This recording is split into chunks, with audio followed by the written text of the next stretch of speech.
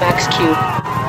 Max Q is the period of maximum dynamic pressure on the vehicle that it will experience during flight due to the forces of thrust, gravity, and atmospheric pressure.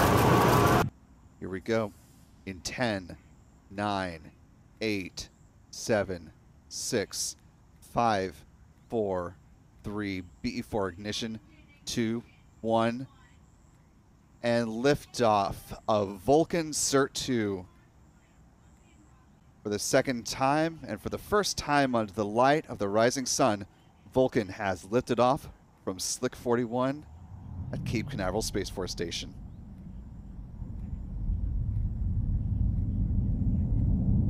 All temperatures and pressures look good. Vehicle has begun its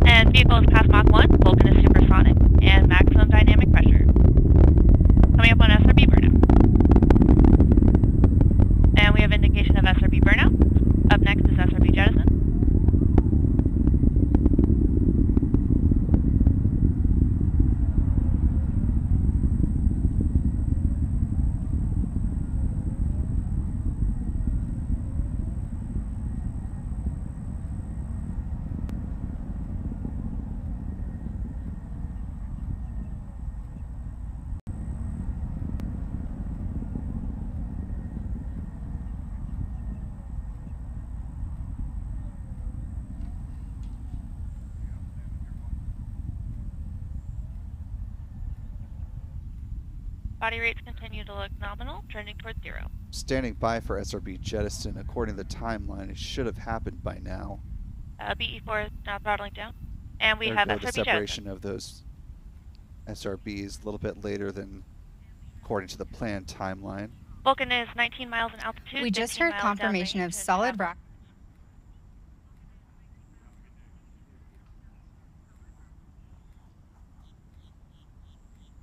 Still tracking the progress of the Vulcan rocket there. You can see the blue glow from the liquefied natural gas, the methane.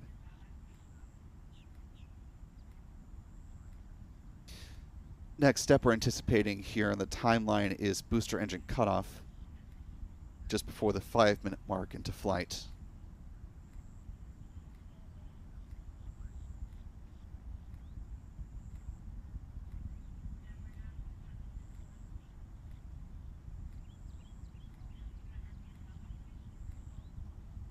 Excellent work from our tracking team this morning.